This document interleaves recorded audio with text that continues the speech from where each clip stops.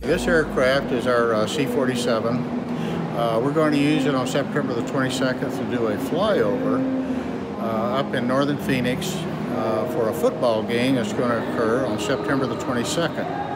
The significance of that football game is this is the first time Texas Wesleyan University and Arizona Christian University have played a football game since 1941. They played on December the 14th, 1941. And as soon as the uh, game was over, the Texas Wesleyan team all disbanded and signed up to go to war. And this is the first time since then they're going to play a game together and we're going to help commemorate that event with the flyover of this airplane. Pretty big deal.